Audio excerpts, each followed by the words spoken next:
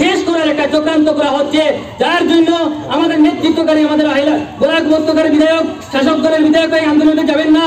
কিন্তু বিরোধী দলের যারা বিধায়ক আছেন এআইডিএফ দলের বিধায়ক আছেন, কংগ্রেস দলের বিধায়ক আছেন ওনাদের উদ্দেশ্যে বলছি যে আজকে আমরা একটা সিদ্ধান্ত নেব, আগামীকালকে হোক বা আগামী পরশুতে হোক, এখান থেকে গাড়ি লোক দিয়ে সব গাড়ি নিয়ে আমরা একশত গাড়ি প্রত্যেক ব্যবসায়ীর নেতৃত্বে আমরা রিজার্ভ করে আমরা এই এই এই গেইটে যাব, এই গেইটে গিয়ে গাড়ি রাখে আমরা এখানে প্রতিবাদ সাহিত্য করব।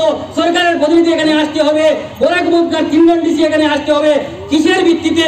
কি কারণে এই কাঁচা সুপারিগুলো আটকে রাখা হয়েছে?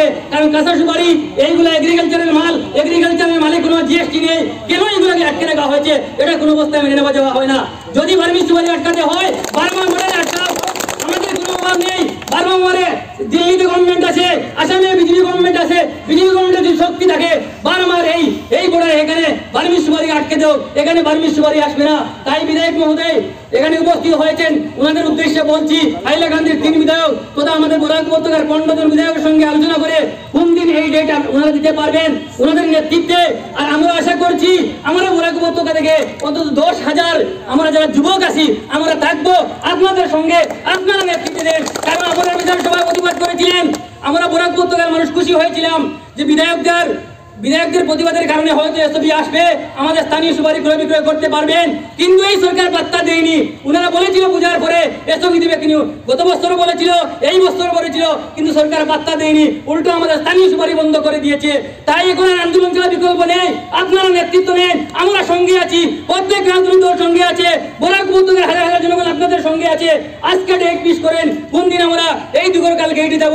বোরাক উপত্যকার কোন শক্তি আমাদের কেন গাড়ি আটকেছে?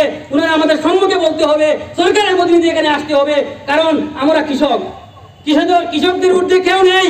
আজকে কৃষকদের জন্য আজকে আমাদের হাইলাকান্দি জেলার কি অবস্থা হয়েছে? বরাক উপত্যকার মানুষের কি অবস্থা হয়েছে? তাই একটা করতে হবে, না হলে মরতে হবে। আমরা লড়াই করতে হবে। তাই বিধায়ক মহোদয়ের সামনে রেখে আমি এই বক্তব্য বলছি, বিভিন্ন বক্তা বলছেন যে আজকে একটা ডেট পিস করে ওনারা বিভিন্ন গাড়ি বর্তমানে এখানে বিগরকালে আসে আরও কয়েকটি গাড়ি লোড দেওয়া হবে, এই গাড়ির সঙ্গে আমরা সবাই যাব। আপনারা কি এই মতে একমত? আপনারা সবাই সবাই একমত থাকলে আমাদের বিধায়কের বক্তব্যের আগে আমি বলছি, তাই খারাপ পাবেন না। তাই এখন আমাদের বিধায়ক মহোদয় উপস্থিত হয়েছেন, এরপর আরও দুই তিনজন বক্তা আছেন, ওনাদের দিব।